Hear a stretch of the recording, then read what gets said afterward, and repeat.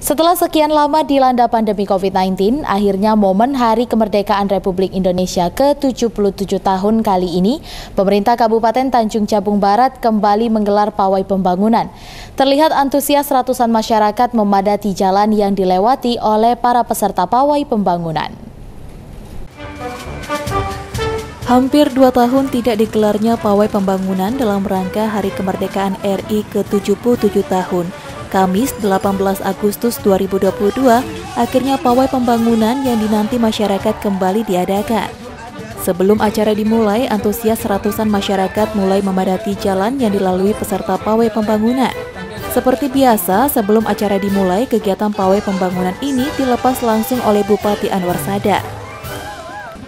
Salah satu warga Tanjung Jabung Barat Sarwedi mengatakan, dengan kembali digelarnya kegiatan pawai pembangunan ini, Dirinya sangat mengapresiasi kegiatan itu, sebab setelah dua tahun tidak digelar karena pandemi COVID-19, akhirnya pada 18 Agustus 2022 ini kegiatan pawai pembangunan kembali digelar.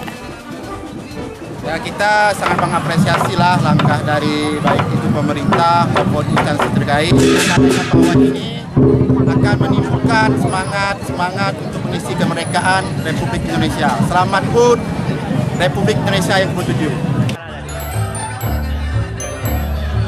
Sementara ungkapan serupa juga dikatakan peserta pawai pembangunan Panda Hasim yang di tahun ini baru bisa menampilkan pawai Sanggar Tua Sekate. Ia berharap kegiatan pawai pembangunan dalam rangka Hari Jadi Kabupaten ke-57 tahun dan Hari Jadi Kemerdekaan RI ke-77 tahun ini dapat terus berlanjut.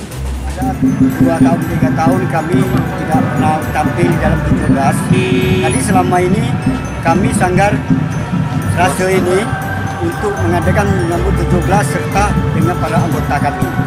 Maka kami sebagai anggota untuk melaksanakan 17 Agustus menampakkan kebudayaan Kampung Melayu. Pawai ini ya? Pawai ini.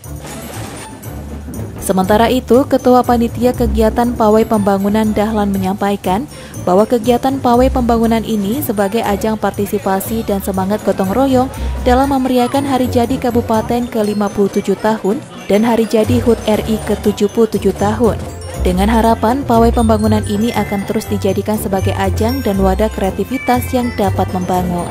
Peringatan Hari Ulang Tahun ke-77 Kemerdekaan Republik Indonesia, peringatan Hari Jadi ke-57 Kabupaten Tanjung Jabung Barat. Maksud dan tujuan, maksud dan maksud diselenggaranya pawai budaya ini adalah sebagai salah satu upaya untuk meningkatkan partisipasi masyarakat dalam keikutsertaan memeriahkan peringatan hari ulang tahun ke-77 Republik Indonesia tahun 2002 di Kabupaten Tanjung Jabung Barat. Surya Kurniawan, Cek TV, melaporkan.